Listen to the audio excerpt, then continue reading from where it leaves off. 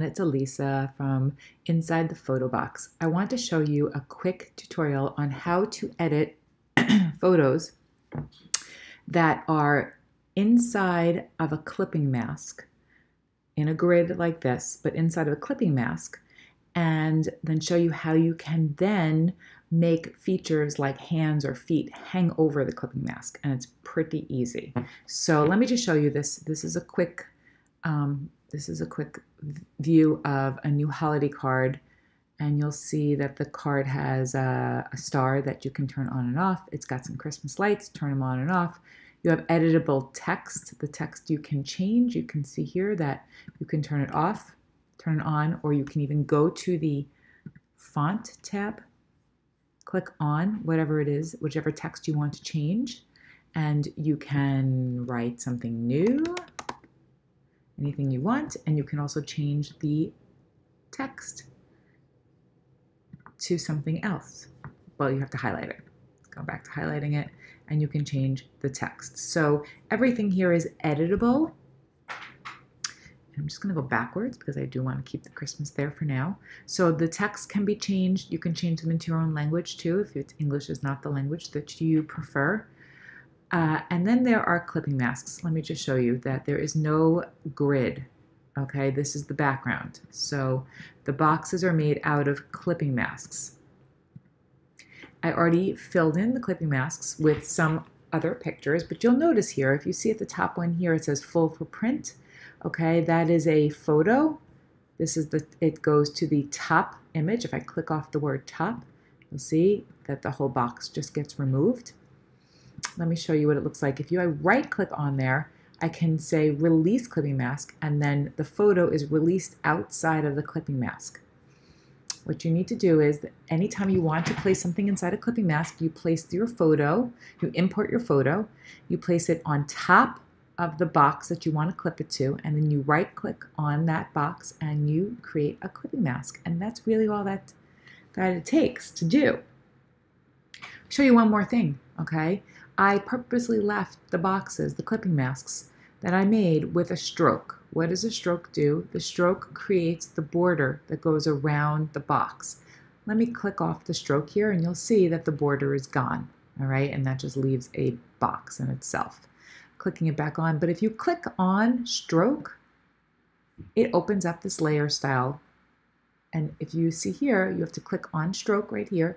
If you go to uh, the size, you can change the size of the stroke. You want to make that border even bigger, smaller, however you want to adjust it.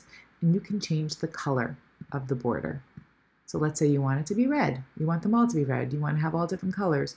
I left it there for you so you can make that decision and it can be a highly customizable template. All right, I'm going to press cancel because I'm going to leave it as white. Um, but I want to show you one more feature.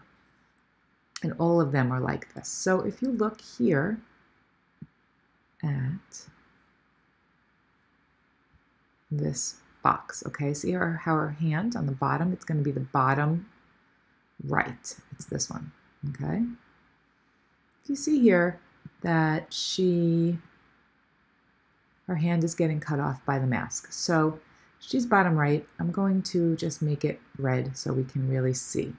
All right, this is the picture that we're working with. I'm closing it off, and then you have your, your box, and that's it. Opening it back up, and there you go. Here's how you do it. Right now, this photo is clipped to bottom right. What I'm going to do is I'm going to take this photo, full for print 18 of 18, I'm going to just make a duplicate of it. All I did was drag it down to this little button here that makes a duplicate. I'm sure there's other ways of making duplicates. That's the way I do it. But you see now it's clipped. You see how there's an arrow, an arrow, and then bottom right? That means they're both clipped.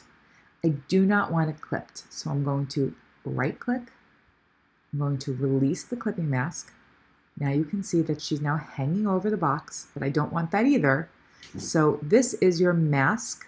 I'm going to put a mask over it. It's a white mask, but I want the mask to be black. I want to totally black out this box. I'm going to press Command I, I'm on a Mac, so I pressed Command I. I believe on a PC it's Control I.